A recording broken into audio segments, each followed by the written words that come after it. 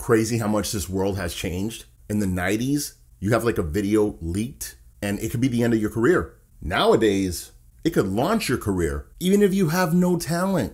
Yes. Hey guys, welcome to my review of Pam and Tommy. What a great idea to do like a freaking film on this. I mean, it's not a film, it's a.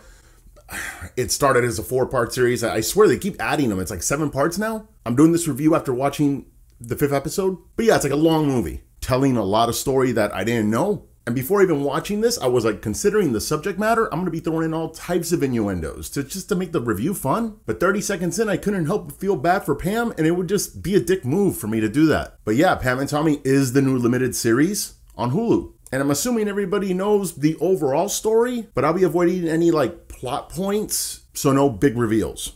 And yeah, there is a lot to the story I didn't know. Like they really capture the 90s good here, by the way. The look, the music, the vibe, the feel, the technology, or lack thereof. And yeah, there's a great conversation about how the internet works. Because yeah, back in the dark ages, it was a crazy concept to like wrap your head around. Seth Rogen, he is great in this, playing the same character. We see him play all the time pretty much. But he's got some more layers here. In fact, everyone is great in this. Good job with the casting. Lily James plays a fantastic Pamela Anderson. And Sebastian Stan, he totally nailed it, dude. Even though some people are gonna be like, oh, he maybe he's not tall enough, but whatever, dude. He's a good actor. And he gets into it.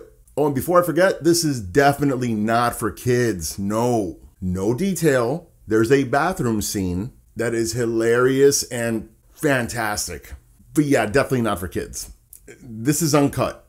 Something I also like is that you spend time with each character. Like it really goes deep into Pamela Anderson and her story.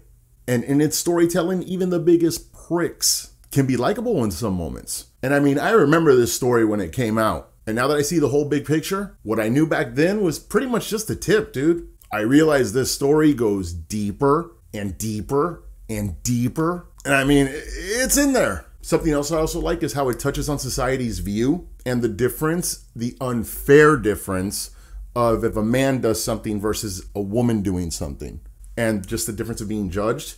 It sucks. It's not right. And I like that this actually explores that. Because even though nobody totally hands their hands clean here, it gets to a point that you really feel for Pamela Anderson, man. And and I just I, I honestly feel bad. Jokes aside, I feel bad for what the freaking girl went through. At least episode five. She might be a total psycho six and seven. I don't know. But yeah, it's the risk you run when you do a freaking review without finishing the whole series. Whatever. And yeah, she did lose a lot because even though her career was rising up, Tommy Lee's was pretty much wrapping up. And yeah, Pamela, she took a freaking pounding. It sucked. As for flaws, I will say this series I think has a little bit of an identity crisis as far as tone is concerned because we're episodes one, two, three, and four, one, two, three and a half were really just fun and light.